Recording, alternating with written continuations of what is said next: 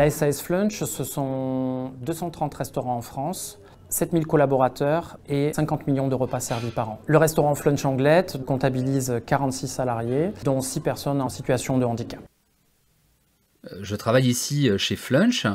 J'occupe un poste à la laverie et j'occupe également un poste en salle. Je ramasse les plateaux, je débarrasse les tables, je les nettoie euh, et puis je rends service euh, aux clients quand ils m'interpellent. À son arrivée, ça a été un petit peu difficile parce qu'il y avait des appréhensions la peur de ne pas pouvoir communiquer, de ne pas pouvoir échanger. Après, ça s'est fait naturellement. Les collaborateurs se sont aperçus que finalement, ça ne posait pas de problème.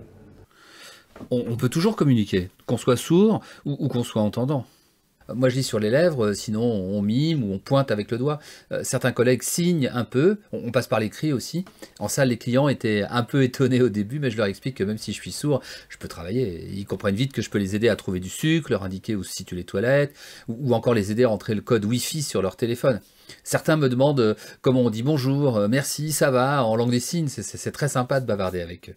Dans un premier temps, quand il est parti en salle, je lui ai proposé de lui faire des, euh, polos avec le sigle malentendant. Euh, chose qu'il a abandonné très rapidement parce qu'il euh, considérait qu'il arrivait à communiquer suffisamment avec les clients et moi ça ne m'a pas posé de problème. En fait, il n'y a pas d'aménagement de poste à proprement parler, si ce n'est l'intervention régulière d'interprètes dès que, dès que le besoin s'en fait sentir.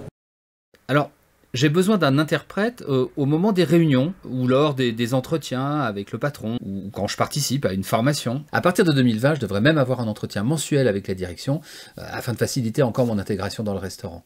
On bénéficie d'aides de la GFIP qui sont des aides classiques euh, dans le cadre de l'intervention des interprètes. Oui, moi ça va bien ici, je, me sens bien avec les collègues, même avec les clients. J'ai vraiment aucune difficulté particulière.